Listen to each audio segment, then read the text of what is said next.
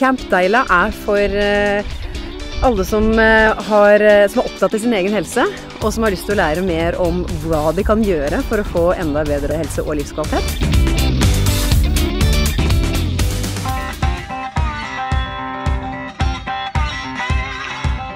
Vi er jo helt utrena. Vi har jo gått tur her. Det er det vi har gjort. Vi har ikke hatt noe styrketrening, ingenting. Så vi er nybegynnere på alt. Og det har vært kjempemoro. Og det, vi legger oss på det nivået som passer for oss, og det har vært, vært helt topp. Vi er som sagt nybegynnere, og da vet vi jo ikke helt hva vi går til. Så men det har vært veldig gøy.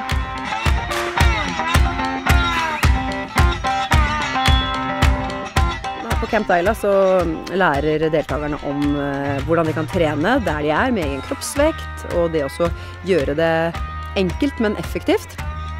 Eh, Og ikke minst få en anledning til å reflektere og bli bevisst. da.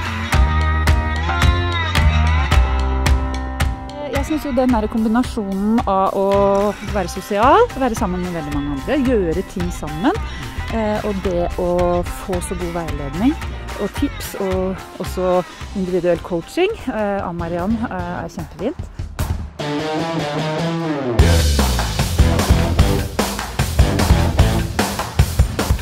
Veldig fin inspirasjon nå før høsten, og så kan bare komme i gang og fortsette å trene. Så det gleder jeg meg til. Marianne i seg sjøl er jo veldig flink til å gi, så da gir hun oss eh, motivasjon. Jeg gir jo en del mentale verktøy og snakker mye om det her med selvledelse og hva, hva alle kan gjøre for å lede seg sjøl til et bedre liv.